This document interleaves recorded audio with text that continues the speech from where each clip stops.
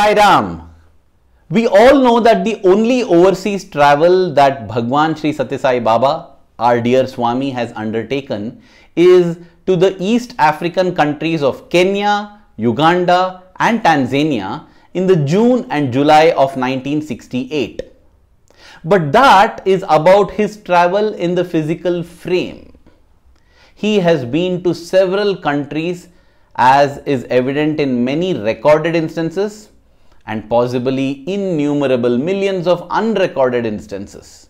For example, during the World War II in the early 1940s, Swami showed his presence to Dr. Art Ong Jumsai and his mother in Thailand. That episode is recorded in this link above. But in that incident, Swami was not present in this frame that we recognize with the orange robe, with the black halo of hair. But then there are several instances where Swami has given darshan in this frame itself while he was physically at Bangalore or Puttaparthi or Kodaikanal or some other place in India, his presence has been witnessed in different countries. The incident that I am going to narrate happened in circumstances that are interesting and a bit funny as well. The way in which it happened, like always, is amazing and jaw dropping.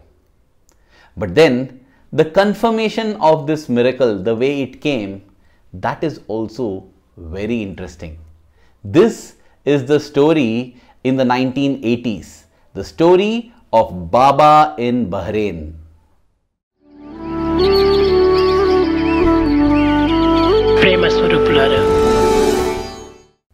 This is the story narrated by Dwarkanath uncle.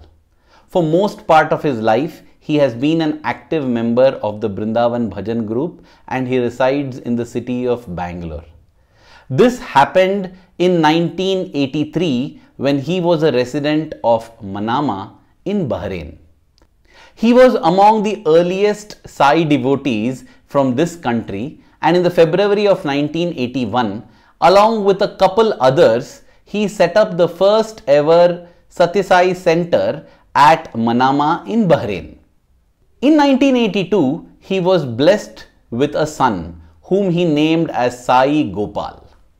Sai because of his love and his family's love for Bhagwan Sri Sathya Sai Baba and Gopal because they were Vaishnavites or that section of Hindus who believed in Lord Vishnu as a supreme deity. In 1983, the March of 1983, to celebrate the first birthday of their grandson, the in-laws of Mr. Dwarkanath, who used to stay in the Indian capital city of Delhi, they traveled to Manama in Bahrain. Mr. Dwarkanath's in-laws were going to stay there for a few weeks. During this time, Mr. Dwarkanath was regular in attending all the bhajans and other sai activities that would happen.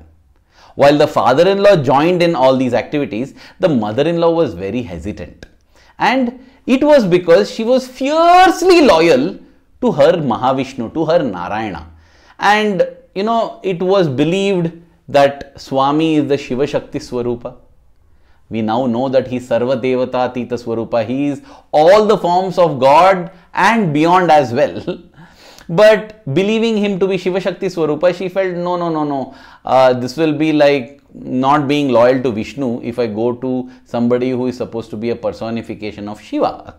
That was the reason. In fact, her name was Mrs. Pankajam Sundaram and Mrs. Pankajam would not even touch Vibhuti because it was associated with Shiva and not Vishnu. You know, she was a staunch Vaishnavite. And therefore, on the 17th of March 1983, when Mr. Dwarkanath said that his dear friend Mr. Patel had invited them over to their home for a bhajan and bhojan session, meaning both bhajans and then after that dinner, Mrs. Pankajam Sundaram, you know, his mother-in-law said that she was not interested to go there she actually was not wanting to go there because she is fiercely loyal to Lord Vishnu. But the reason she gave was, let me stay back and take care of Sai Gopal. He's alone at home. Well, that's another interesting thing. She would never call him Sai Gopal. She would just call him only Gopal, you know, because Gopal is Krishna, a form of Vishnu, and she didn't want to call Sai. I- I'm just telling this so that you understand how staunch and firm she was in her love for Vishnu, in her love for Narayana. So she said she would take care of Sai Gopal. So Mr. Dwarkanath, his father-in-law and others, all of them left at around 7.30 pm. Now Pankajam auntie, staying back at home, she was happy taking care of her little grandson. She fed him his dinner and at around 9, 9.30 in the night, uh, since the baby boy was feeling hungry again, she began to feed him milk. That was when she heard a knock on the door, persistent knocking on the door. She wondered who it might be at this time of the night because they did not have any relatives or anybody here. But then she remembered that one of her son in law, Dwarkanath's cousins, stayed nearby, and maybe her son in law had told them that she was staying alone at home and they were dropping in to check on her. That is what she assumed.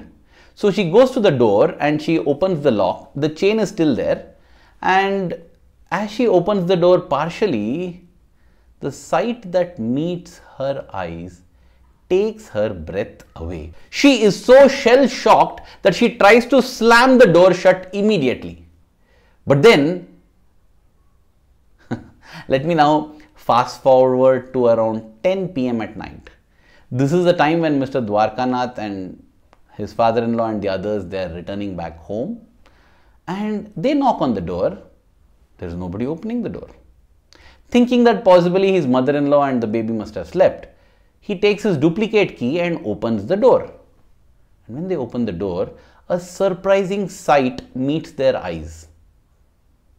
The mother in law is sitting at the dining table, shell shocked, shivering, trembling, not shivering actually, trembling, and there is vibhuti all over her forehead.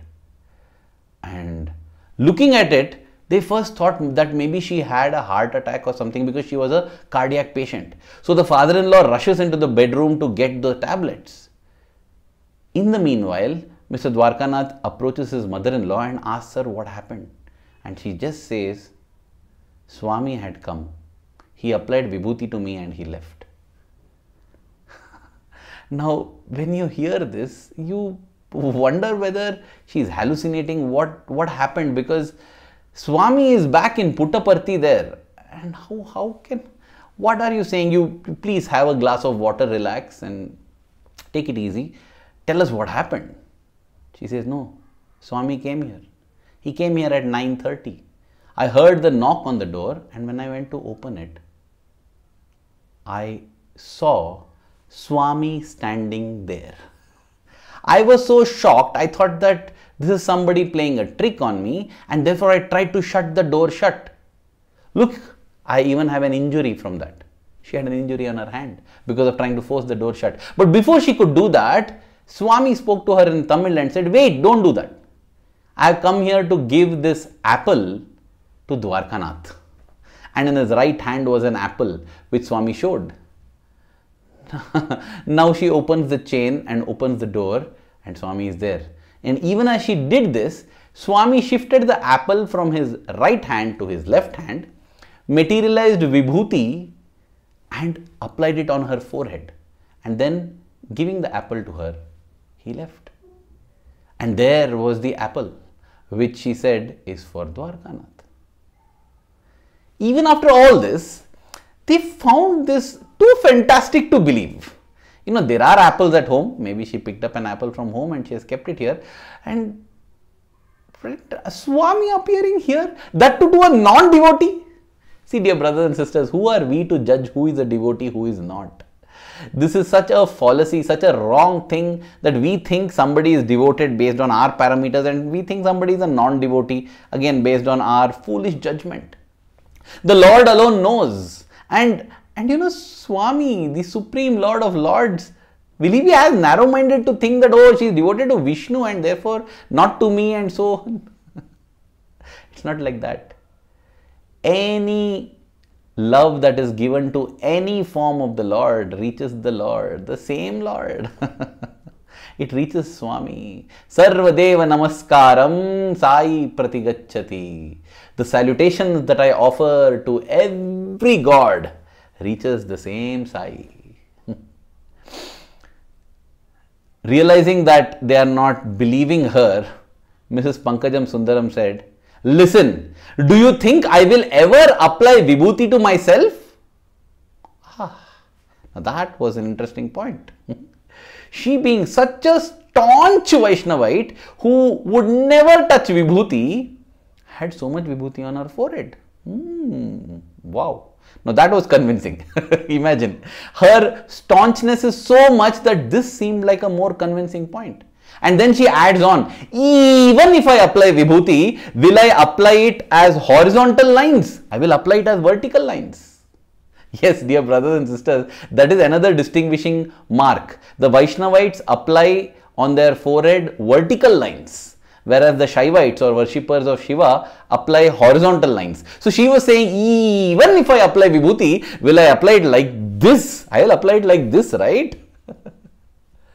so they thought, oh, yeah, maybe. But even then, you know, though the others in Manama were informed of this amazing happening, Mr. Dwarkanath himself found it little hard to believe that Swami had appeared. You know, and to make matters more complicated, in their home they had a photograph of Swami sit, sitting on a swing holding an apple in his hand. Mr. Dwarkanath thought that seeing this photograph, maybe his mother-in-law got confused that Swami had actually appeared there. So it was very, very difficult for them to accept this. So they began to pray to Swami to give an indication. And the indication came. Very soon, the photograph that was in the room occupied by Mrs. Pankajam began to shower profuse vibhuti from the 21st of March onwards, this episode happened on the 17th of March, Swami appearing there. From the 21st of March, Vibhuti began to flow profusely. It began to bubble out of the photograph, pouring out in large quantities. Very soon, their home in Manama became like a pilgrimage site, and devotees from all across Bahrain began to land up there. The bhajan sessions began to attract large crowds because of this miracle. And then somebody came up with this idea saying, why don't you send this episode, this incident in writing to Prashanti to Sanatana Sarathi? You know, because Sanatana Sarathi invites experiences from across the world. Why don't you do that now? And this advice was given by Mr. Vinod Pasi, who would later on become the chief financial officer for the entire Central Trust, but back then he was in Bahrain.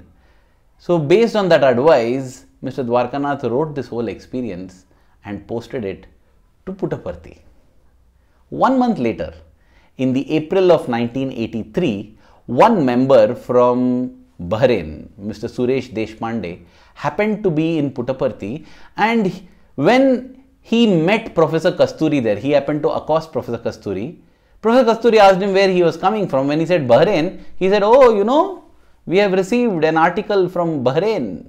Somebody has said that Swami appeared in Manama. I have received that because he was the editor of Sanatan Sarathi. So now Mr. Suresh Deshpande asks him, asks Professor Kasturi, so is that article going to be printed in the Sanatan Sarathi? And Professor Kasturi says, it is not that easy, sir. Every article is personally vetted by Bhagwan. Once Swami approves, then only will that article be published. If not, it will join the hundreds of other articles in not getting published. To the great delight of all the devotees in Bahrain, the July 1983 issue of Sanatana Sarathi carried an article by Mr. Dwarkanath which said, Baba in Bahrain. That was the greatest confirmation for all the devotees in Bahrain that Swami had come because this was like Swami himself saying, Yes, I had been there. And that is the story of Baba in Bahrain.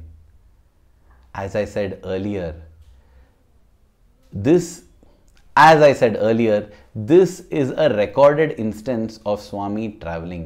There are millions of unrecorded instances, and I am sure that many devotees out there would have experienced Swami either in his direct form or in an indirect form or even in the omnipresent form. They would have experienced his love, grace, and blessing. Here's an idea why not convert the comment section below into a satsang area? And if any of you have experienced Swami's omnipresence in your own places, in your own homes, in your own countries, because Swami is not bound by anything, please do share it. And well, that satsang area will also provide me with wonderful material for future video talks. In the meanwhile, I pray to Swami that our love for him keeps growing stronger and stronger. And dear Swami, wherever we are in the world, may we see you, may we hear you, may we feel you in our hearts, may we love you forever and ever. Thank you. Jai Sai Ram.